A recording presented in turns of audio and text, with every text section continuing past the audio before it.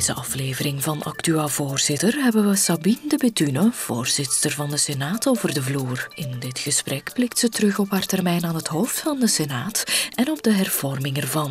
Sabine de Betune, uw werk als voorzitter van de Senaat zit er bijna op. Hoe kijkt u terug naar die ja, drie jaren? Want u bent benoemd in 2011, of verkozen in 2011 tot voorzitter in opvolging van Danny Pieters. Juist. Hoe blijkt u terug op die drie jaar? Een hele intense periode eigenlijk. Tweeënhalf jaar, geen duizend dagen. Een hele intense periode. Na meer dan 500 dagen onderhandelen uh, is er toch een coalitie gekomen met een zware opdracht. Uh, ik denk dat het zwaartepunt van deze legislatuur de zesde staatshervorming geweest is. Die heel veel energie heeft genomen, acht partijen, om het een goed eind te brengen. Anderzijds, uh, denk een tweede zwaartepunt, zeker voor de Senaat, um, heel veel heel concrete wetten die het dagelijks leven van de mensen aangaan. Mm -hmm. Gaande van de verheffing-verdeling, gerechtelijk, de meemoeders, um, adoptie, de naam bij adoptie enzovoort enzovoort. Dus heel veel concrete wetten die het leven van de mensen aangaan. En dan onverwacht eigenlijk in deze legislatuur ook uh, een troonsopvolging of een troonswissel uh, die toch ook vlot verlopen is, vind ik. Dus een, uh, wat mij als voorzitter van de Senaat betreft een heel intense periode. Ja, toen u eraan begon, was het voor u een opdracht of was het eerder een uitdaging? Het was een opdracht waar ik ook fier op was, dat ik na zoveel jaar in de Senaat ook die taak mocht vervullen. Het was een, uh, een uitdaging omdat er zoveel op de agenda stond en dat in het kader van die zesde staatshervorming ook die drastische hervorming van de Senaat geprogrammeerd was. En dit uh, klaarkrijgen in iets meer dan twee jaar tijd op een ordentelijke manier, maar ook op een manier waar iedereen betrokken is en zich er niet slecht bij voelt, dat was toch echt wel een uitdaging. Ja, over die hervorming komen we straks terug. Ja. Ik wil het nog even hebben over uw persoonlijke carrière. Het is uw negentiende jaar in de Senaat, als ik het uh, goed bereken. Klopt. Hoe hebt u die Senaat zien evolueren eigenlijk doorheen die lange periode toch? Ja, ik ben, ik ben een senatrice van de Senaat als reflectiekamer. Ik, ik ben in de Senaat verkozen in 1995, na de vorige hervorming. En ik zal dus heel die, die tijd hebben meegemaakt uh, in oppositie, in meerderheid, en de verschillende settings. Mijn, mijn, politieke loopbaan is eigenlijk, uh, daar zit één rode draad in en dat is die, die strijd of dat engagement voor gelijke kansen. -hmm. Ik had dat al opgenomen binnen CD&V als voorzitter van Vrouwenmaatschappij, bijna 15 jaar lang. -hmm. Toen ging het hoofdzakelijk over gelijke kansen voor vrouwen, nog altijd. Want die gelijkheid bestaat nog altijd niet echt. Hè. Daar -hmm. valt echt nog wel uh, veel aan te timmeren.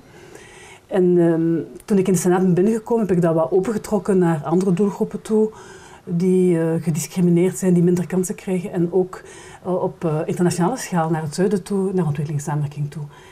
En bon, ik, heb, ik heb geprobeerd in, in al die jaren van daar gestaan te gaan aan voor te werken. nooit opgegeven, altijd voor toen. Ik heb dat thuis geleerd, ik heb dat van mijn vader geleerd. En ik denk dat er toch wel iets bewogen is ja, in die tijd, dat er Ja. iets veranderd is. De goede. Zoals? Wat vrouwen betreft hebben we een enorme stap gezet. Toen ik binnenkwam in de Senaat, waren we een minderheid en uh, we zaten geen vrouwen op de eerste rij. En u weet ook wat dat betekent. Op de eerste rij zitten, we zeggen dat je meer gezag hebt. En vandaag uh, zijn er 40% vrouwen gekozen in het parlement. En dat is niet vanzelf gekomen. Dat is het resultaat van die quotawetten, mm -hmm. waar we hard voor gevochten hebben met de CVP-vrouwen, CD&V-vrouwen. Gesteund door al anderen. Uiteindelijk hebben we daar een consensus rond gevonden, anders was het er niet gekomen. En um, we hebben die lijn doorgetrokken naar andere besluitvormingscentra, bedrijven, beursgenoteerde bedrijven, nu het Grondwettelijk Hof, die wet ook kunnen veranderen, uh, de top van de administraties. Maar het gaat over vrouwen op de werkvloer overal. Kijk naar uh, gelijk loon voor gelijk werk. Er is uh, recent een wet gestemd die ik had voorgesteld om sociale partners te verplichten om daarover te onderhandelen. Maar we zijn er nog niet, er moet verder gewerkt worden. Want geweld op vrouwen, ja. geweld in het gezin, hebben toch, het is geen taboe meer. Er wordt over gesproken, justitie weet waar het over gaat. Er is een, een nationaal actieplan. Wij hebben wetten genomen die die materie moeten aanpakken. De laatste wet uh, die ik heb voorgesteld en die gestemd is, is eigenlijk de tijdelijke uithuisplaatsing van de dader om een moment van rust in te bouwen en maatregelen te kunnen zoeken. Dus we, ik denk dat we vooruit gaan. Ja, wat zegt het eigenlijk over onze samenleving dat we dit soort evoluties moeten wettelijk verankeren? Want blijkbaar, als je wacht op de samenleving zelf, dan lukt het niet. Is het niet zo voor alle domeinen dat men uh, de vooruitgang uh, ja, die moet aangestuurd worden? En we moeten die proberen in te bakken in de spelregels van de samenleving. En dat geldt zo voor vrouwenrechten, dat, maar dat geldt eigenlijk voor, voor alle domeinen van de samenleving. Ik denk, als wij als groep uh, iets willen regelen, uh, iets willen zien gelden, dan moeten we dat gewoon afspreken. En dus wat de moderne samenleving betreft wil dat zeggen in wetten vastleggen.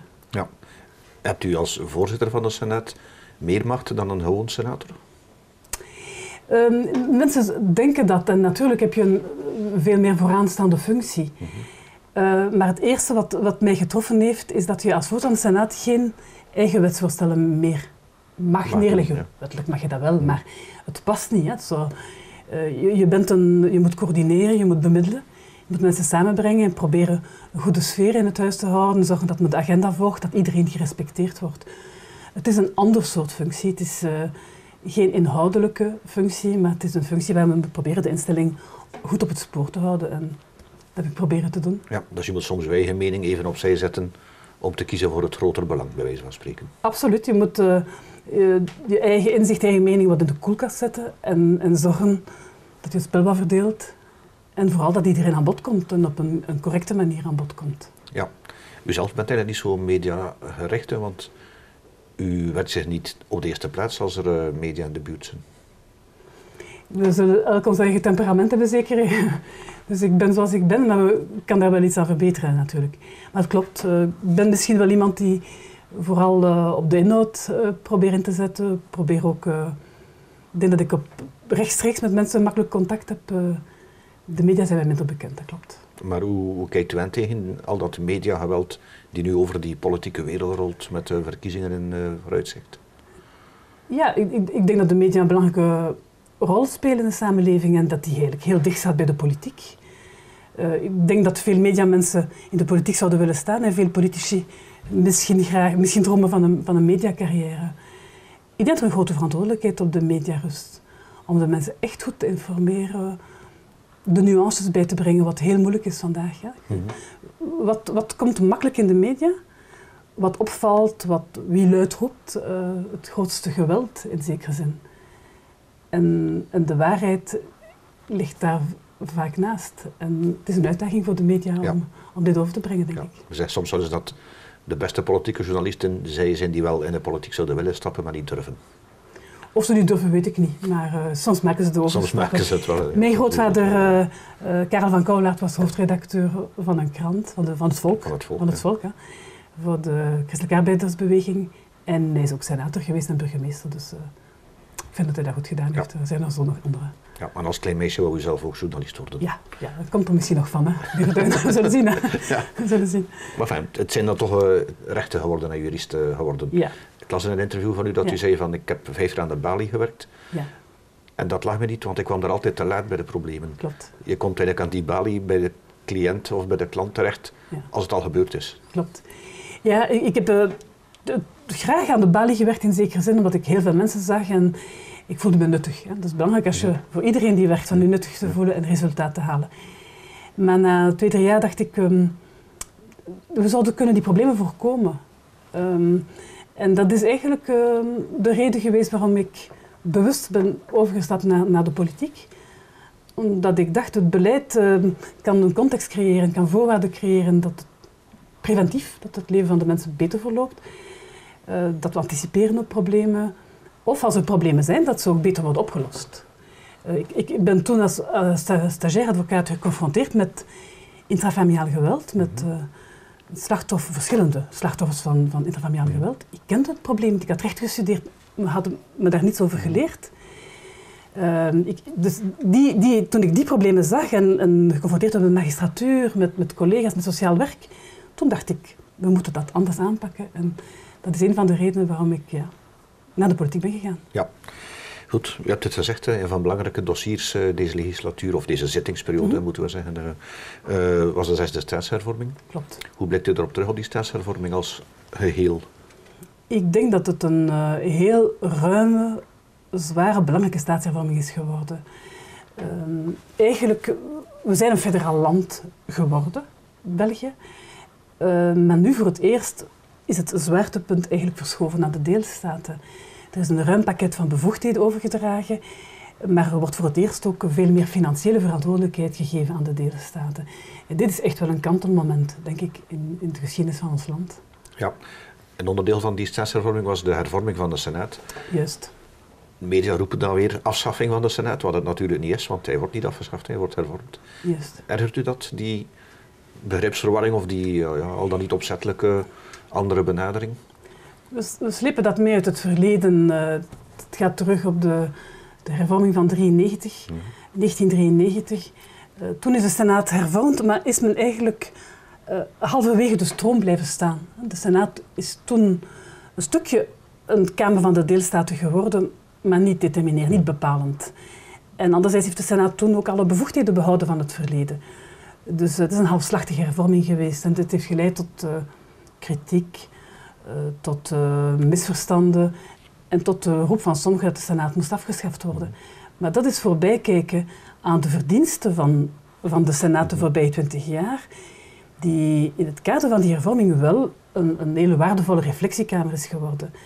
Ooit zal men dat evalueren en zal men dat kunnen meten, dat, dat kunnen concreter duiden.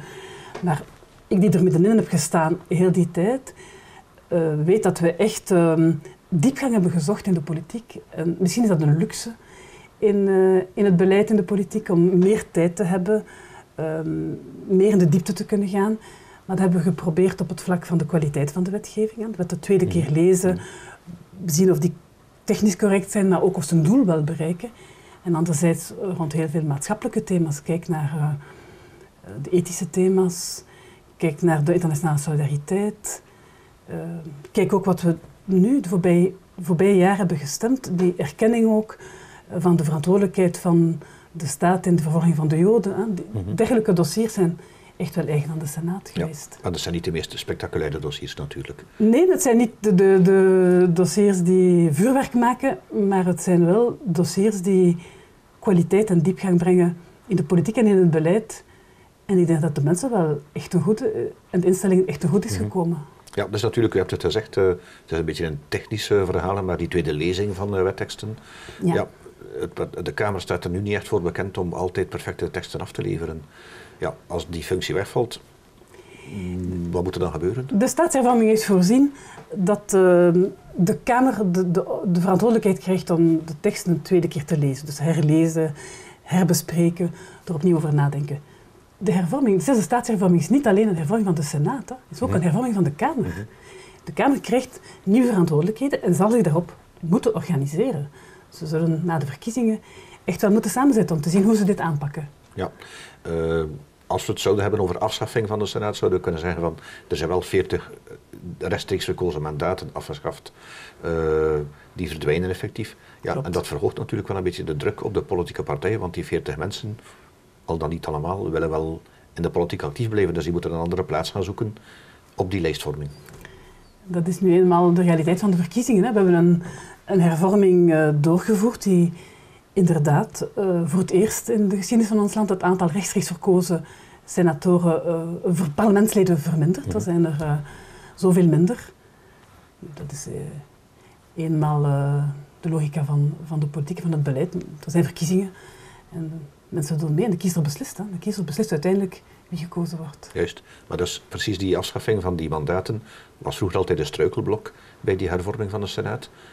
Wat kon er nu wel, wat vroeger niet kon? Vandaag, um, de hervorming van de Senaat moeten we nu zien als het uh, sluitstuk of het eindpunt van de zesde staatshervorming.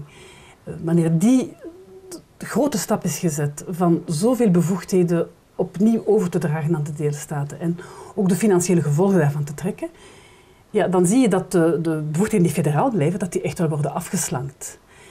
Dus er is minder werk voor het federale parlement, enerzijds. Maar anderzijds heeft een, een federale staat, die echt goed wil functioneren, heeft een parlementaire instelling nodig waar de deelstaten elkaar ontmoeten. En dat is precies de, de roeping van de nieuwe Senaat.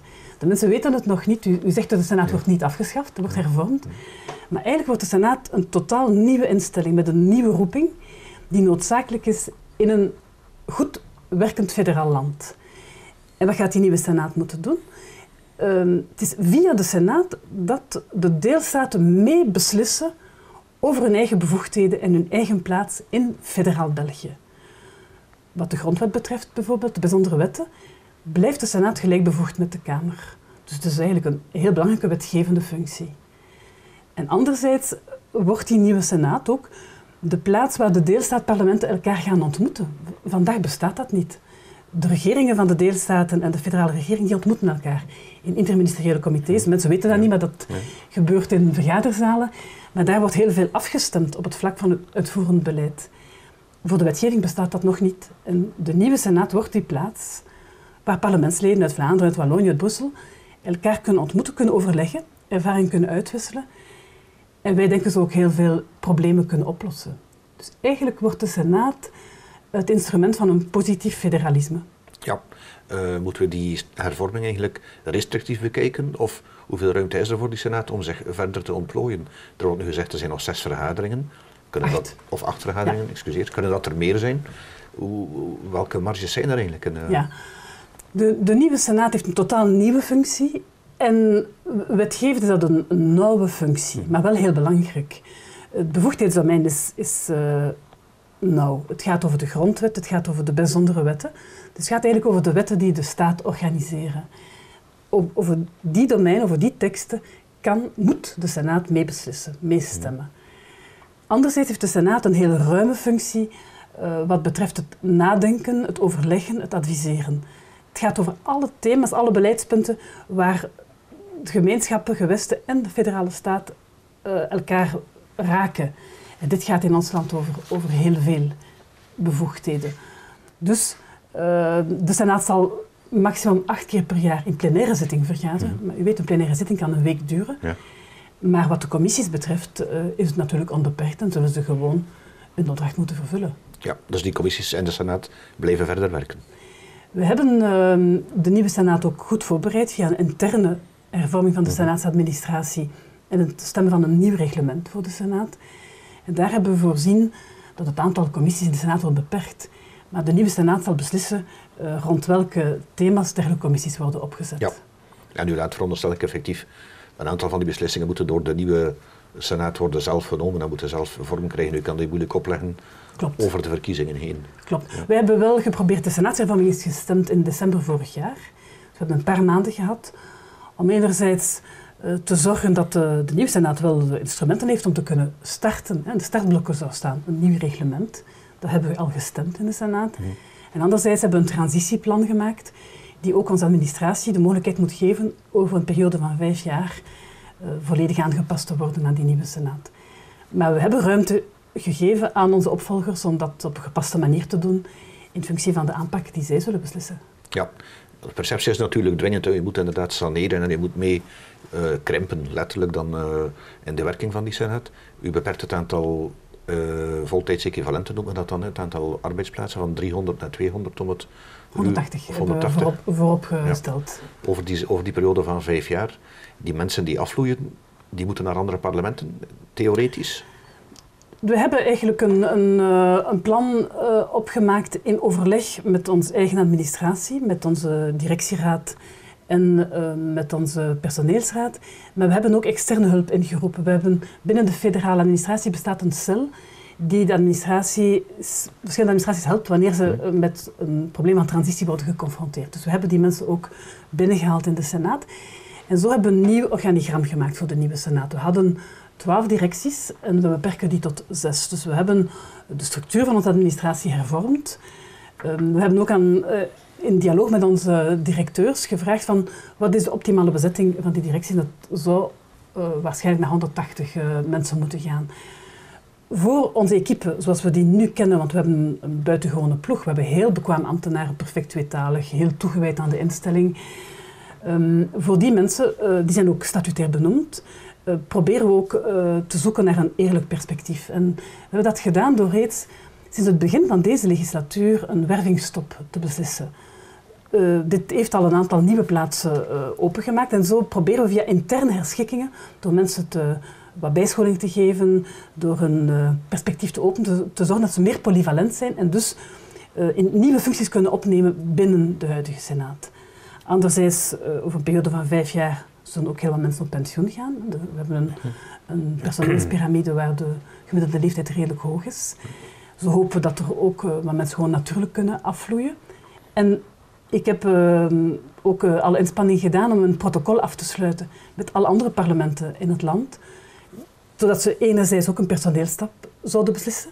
En anderzijds, wanneer ze aanwerven, eerst beroep doen op de mensen van de Senaat. Dus we proberen dat mechanisme nu in gang te steken.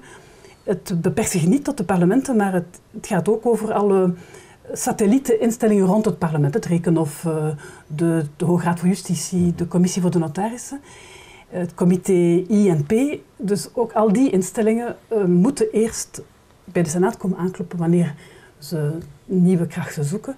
Op die manier willen we veel meer flexibiliteit inbouwen in de carrière van, van onze ambtenaar. Ik denk dat dat over een periode van, van vijf jaar echt wel uh, kan, kan lukken, zodat uh, iedereen die verdere loopbaan wil uitbouwen, dit kan doen met succes, met goesting, zijn talenten of haar talenten kan, kan ontwikkelen. Is tenminste het plan dat we hebben opgemaakt. Ja, ik kan me inbeelden dat dat geen gemakkelijke opdracht is, want je moet een beetje indringen in de werking van die andere, wat u dan satellieten noemt, of die andere deelorganisaties die rond het parlement hangen.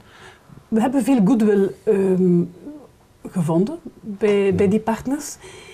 Uh, dat heeft te maken omdat natuurlijk iedereen weet dat die hervorming uh, er komt, dat die gestemd is. En anderzijds omdat ons, uh, ons personeel een hele goede reputatie heeft. En mensen weten dat uh, wie in de Senaat werkt, dat dat goede krachten zijn. En dus ze zijn ook gewenst bij anderen. Maar wat is onze bezorgdheid uh, als Senaat en mijn bezorgdheid als Senaatsvoorzitter? Mm -hmm. Dat iedereen een perspectief heeft. Uh, dat, dat elk, elk, van onze mensen verder kan werken, zich verder kan ontwikkelen, maar ook op een manier dat men dat graag doet. Hè. De, werken is ook een belangrijke geluksfactor en wij moeten zorgen dat onze mensen ook een, perspectief hebben waar ze zich kunnen in ontplooien. En ik hoop dat degenen die uh, de fakkel gaan overnemen, de nieuwe Senaat, dat die die lijn kun, kunnen doortrekken. Ja. En u hoopt er zelf nog deel van uit te maken, hè? want wie nu in de Senaat wil zetelen, moet dat doen vanuit de deelparlementen. Klopt. U zelf komt nu op, op de lijst voor het Vlaams parlement. Als u daar verkozen wordt, ja. dan kan u met steun van uw partij een mandaat in de Senaat verder zetten. Dat is de bedoeling. Ik ben lijstduwer op de Vlaamse lijst van CD&V in West-Vlaanderen, met Hilde Krevits als lijsttrekker. Uh, proberen als vrouwen onze lijst uh, sterk te maken mm. en op het terrein goed te verdedigen. Uh, dus mijn, mijn, ambitie is om verkozen te worden in het Vlaams parlement en dan via het Vlaams parlement uh, te kunnen afgevaardigd worden in de Senaat met een dubbel mandaat, zoals men zegt. En dan kan ik een beetje als pionier en met die andere pioniers proberen die nieuwe instelling ja, te, te, realiseren, nieuw leven in te blazen. Ja. U hebt altijd veel stemmen gehaald in West-Vlaanderen. Hoe ziet uw kansen voor deze verkiezing? Ja, ik denk dat ik goede kansen heb. Maar het hangt van de kiezers af. Of ik gekozen word. En zoals voor al mijn collega's uh, is het zo. Dus uh, ik hoop dat de mensen tevreden zijn over mijn werk en dat ze mij verder zullen vertrouwen. Ik ben alleszins kandidaat om het werk verder te zetten. Goed, we zullen zien wat de kiezer doet op 25 mei. Bedankt voor de analyse, Sabine Metune.